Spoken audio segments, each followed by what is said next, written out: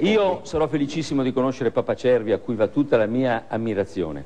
Papa Cervi purtroppo è morto. E, e quindi, e quindi se lei manterrà l'invito io sono felicissimo di venire con lei a rendere omaggio a questa nobilissima figura che ha tanto sofferto. Però io ho nei miei ricordi, dei ricordi terribili, io dai, Sales, dai Salesiani a Milano mi vedo